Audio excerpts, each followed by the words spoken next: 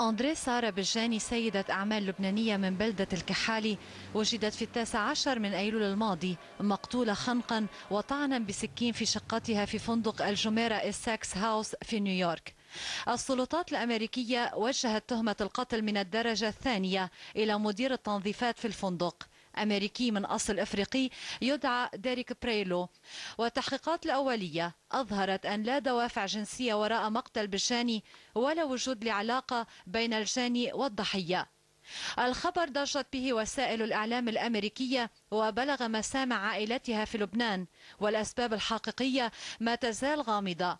لها أخت وشقيقان. جوزيف المقيم في نيويورك يتابع التحقيقات وجورج في لبنان نعاها غاضبا من عدم تسلم جثتها ومن غياب الدولة اللبنانية.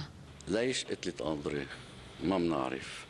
هالبنت الحلوة الذكية الناجحة اللي وصلت لأعلى المراكز انقلت انقتلت. يا هل ترى مصير كل لبناني ناجح ومتفوق القتل؟ مين المسؤول؟ بكتفي بهالسؤال بالوقت الحاضر وما بدي زيد شيء.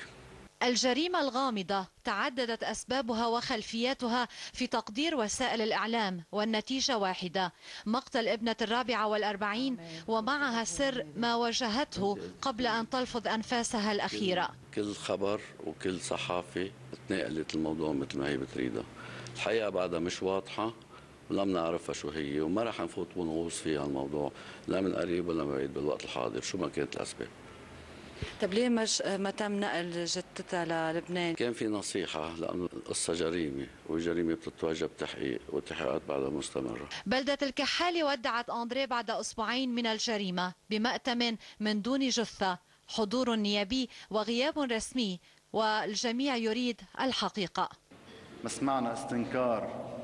لا من المسؤولين اللبنانيين ولا الأمريكيين ولا حتى الإعلام يلي أوقات كثيره على شغلة صغيرة من اللي يتحرك. والقصة منا حادث السير قصة جريمة قتل من الدرجة الأولى. أندري بجاني واحدة في مسلسل ضحايا الاغتراب اللبناني. حملها طموحها إلى دبي ومنها إلى نيويورك. جمعت ثروة وماتت وحيدة. تاركة وراءها الثروة وعائلة مذهولة وبلدا لا يسأل ولا يجيب.